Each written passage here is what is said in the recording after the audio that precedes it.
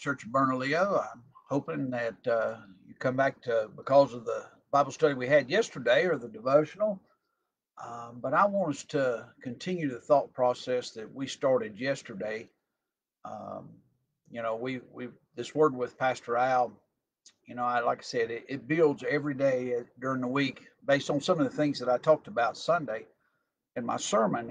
And Sunday we were talking about uh, the church at Ephesus, and you know, we brought out the fact that Jesus asked that church, you you know, he he he stated that you have left your first love.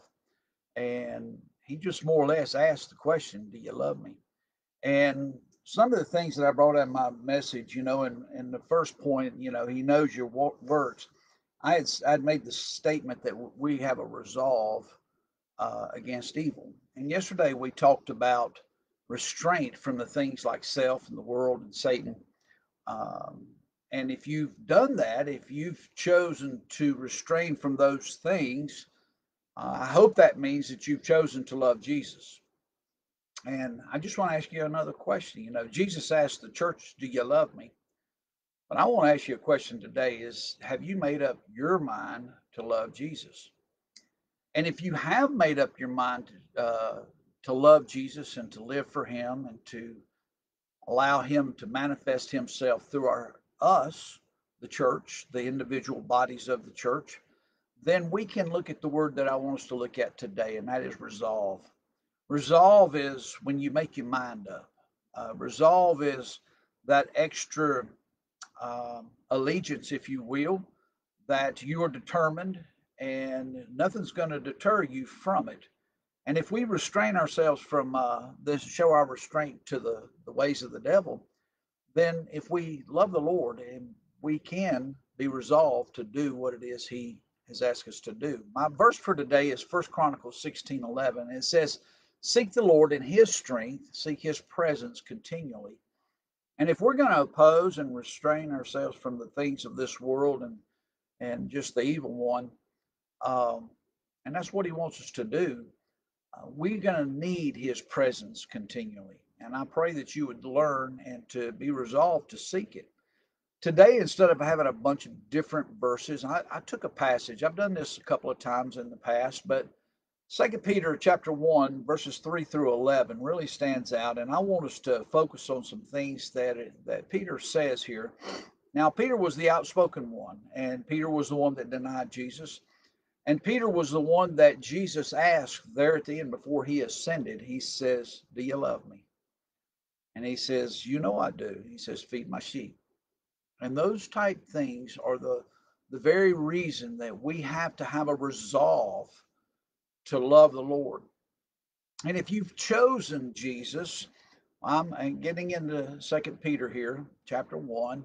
Uh, you have divine power. Starting with verses three and four, it says, "His divine power has uh, granted to all uh, us all things that pertain to life and godliness." Um, just that right there, you know, if if we have decided, we have the resolve and have made our decide, made up our minds that we're going to be resolved to follow Jesus and to love Him, He gives us power. His divine power has granted us all things that pertain to life and godliness. The verses go on says, through the knowledge of Him who called uh, us to His own glory and excellence, by which He has granted to us uh, precious and very great promises so that through them you may become, now get this, partakers of the divine nature. If you've got your Bibles out, underline that partakers of the divine nature. That's God's nature, that's a holy nature. That's the nature that opposes our flesh. It says, having escaped the corruption that is in the world because of sinful desires. So, if you want this divine power, you need to be resolved to follow Jesus. I'd made the statement Sunday that are, there are some that you know they say well i'm saved i'm not going to hell and that's all that matters but i believe if jesus was willing to die on the cross for us that we might live that if we would ask him to forgive us of our sins and to change us. And, and all through scripture we see that and we talked about this last uh, the week before last uh, oh, it was last week we become a new creature. And that new creature needs to love the creator. Um, but we need to prove our resolve uh, to have more than just faith. Um, you know, so many people say, you know, I'm saved. I believe Jesus did all those things, but we got to have a little bit more than just that faith. Verses five and through seven says, "For this very reason, make every effort to supplement." And I want us to underline that: make every effort to supplement. We'll come back to that. Your faith with virtue, and virtue with knowledge, and knowledge with self-control, and self-control with steadfastness, steadfastness with godliness and godliness with brotherly affection, and brotherly affection with love. Now you read that, and first off, you think about the fruit of the Spirit. Galatians 5 22 and 23. It says, But the fruit of the Spirit, and here's the, the list there love, joy, peace, patience, kindness, goodness, uh, faithfulness, gentleness, and self control. Against such there is no law. And that fruit of the Spirit, if we have accepted Jesus as our Savior, He indwells us we become a new creature because we're born again. We have the Spirit, and these this fruit, uh, these qualities of that fruit, are there. Um, we have to understand that when we see in back to uh, Second Peter, in verses five and seven, it gives us these lists, and now it is it they're pretty close, and I believe that you know the Spirit of God is in us but it doesn't happen overnight. And we have to mature. And that's the reason why he says, make every effort to supplement. That means to grow, to add to, uh, to continue to affectionately um, build on what God has given you. Uh, we have to peel off the layers of ourselves and, and turn to God, be that new creature. Um, you know, it, we have to elevate that's a good word, elevate these qualities of a divine nature. And we talked about in that first verse the divine nature, that nature of God, over, now get this, human nature. Our body, our flesh wants to have human nature, it wants to do the things of this earth, uh, this world, uh, ourselves, and that's all from Satan and those type things. But a divine nature, we have to supplement it, we have to work at it. And to do that, you have to be resolved. You have to make up your mind when you go to school or college or a special class of any sort, you have to be determined and resolved to study and to supplement the knowledge in which you have to grow and increase in those areas. Um, the resolve to grow and show our love to Jesus is ongoing. Just like this, we have to supplement and we'll uh, and it's going to continue until we see Jesus and we get our glorified body. But verse 8 says this it says, For if these qualities of yours and are increasing, means they are increasing, they're growing, they're you you've been learning, you've taken and you you're, you're you're reading your Bible, you're listening to teachers. It says they keep you from being ineffective and unfruitful in the knowledge of our Lord Jesus Christ that is what we're to do. We're to manifest Jesus. We're to show that we know who our Savior is, that we love Him.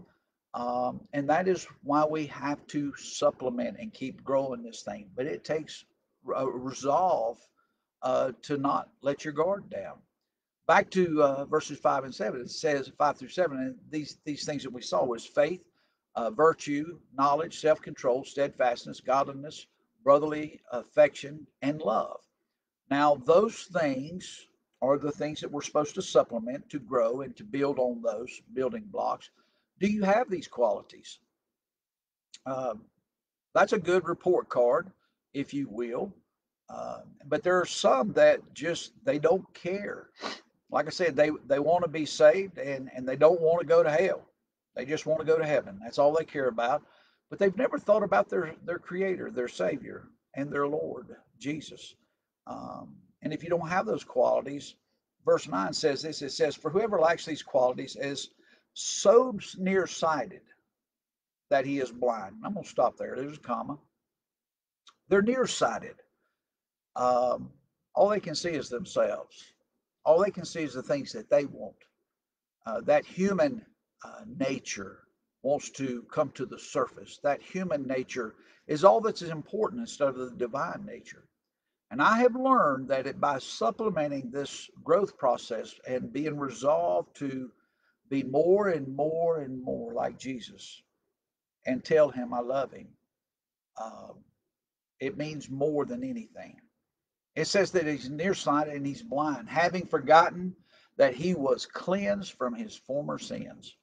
See, Jesus washes us white as snow, but we need to continue to grow. You know, as I said it Sunday, you know, the Lord watches everything that we do. And, you know, it doesn't cost anything to get saved. It's free. It's by the grace of God that we're saved. Uh, it's not by works. And it's going to cost uh, a little bit to follow Jesus, but it's going to cost us everything to serve Jesus. And that's where I want us to be, to be resolved to be servants of the Lord. We'll see this later this week.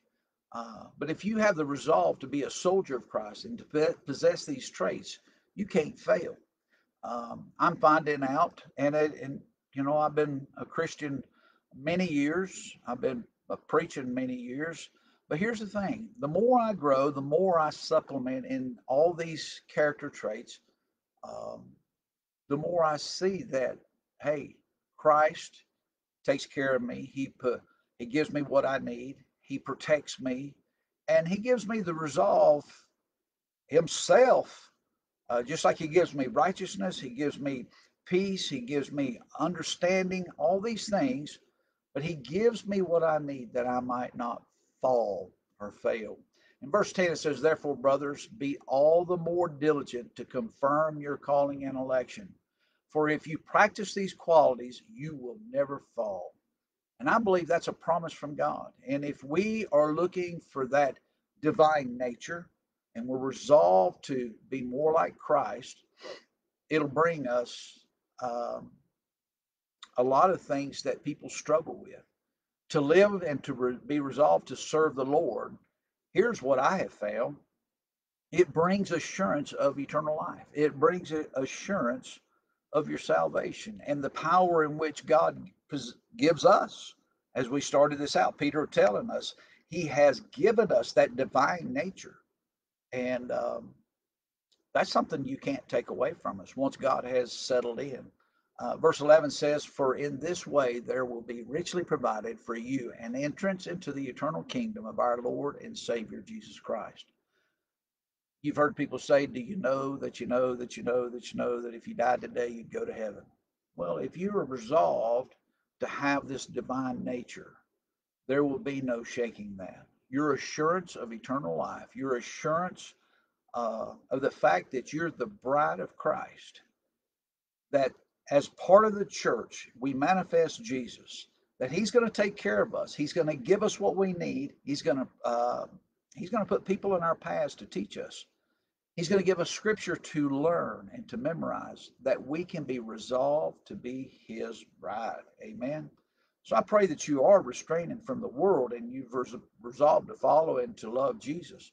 So back to our verse of the day, First uh, Chronicles 16 11. Seek the Lord in his strength, seek his presence continually. And my attitude adjustment is I want uh, to resolve to supplement my character to serve and love my Lord. Amen. I know I covered a lot of ground, but this one passage, uh, go back and underline it and, and read it again and make it yours. Second Peter 1, verses 3 through 11, and see the promises in which the Lord has promised us to give us through His Holy Spirit, through His Word, the very power that we need, that divine power. Amen. Let's pray. Lord, I thank you that you promised us so much. And Lord, we just need to be resolved to learn it and to supplement it and to grow it. And Lord, I pray that as we turn our backs on the world and ourselves and Satan, and we, with passionate, loving eyes, look to Jesus, let us love him as he first loved us. Let us resolve in our walk that we, instead of looking for human nature, would develop and grow in divine nature. And that we would be resolved to be a light, to be salt. Jesus is the light. He gives us the light. And we thank you for that. And Jesus said that we are the light, the church. As we accept the free gift of salvation, Lord, you filled us with your Holy Spirit. You indwell us. Let us shine brighter than we ever have. Let us be resolved to show our love to you by being obedient, to digging in the word, word and to be obedient as we dig in the word to learn and to be in self control of the things that we do, all these other traits that we have.